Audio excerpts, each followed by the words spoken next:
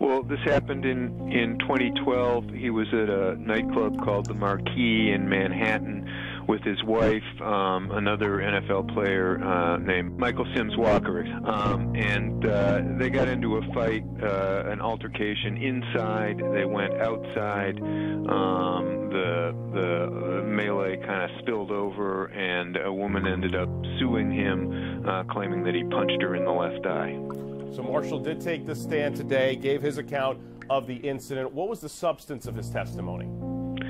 Uh, he basically said that his his wife had been badly hurt when she was hit by a bottle inside. Um, she lost three teeth and she was bleeding. Um, that when he got outside, he, he his group was than the, the the the group that had the beef with him, um, and so he he was scared for himself, scared for his wife, uh, and he, he said he was trying to get away um, this woman who has sued him uh, came up and took a swing at his friend Michael Sims Walker. Um, she says that's the point at which he punched her.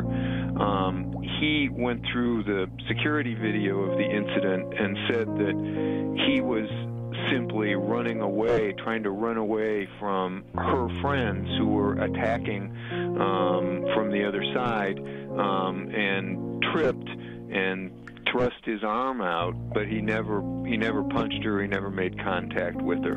Um, so he says she's not really telling the truth when she says that he punched her.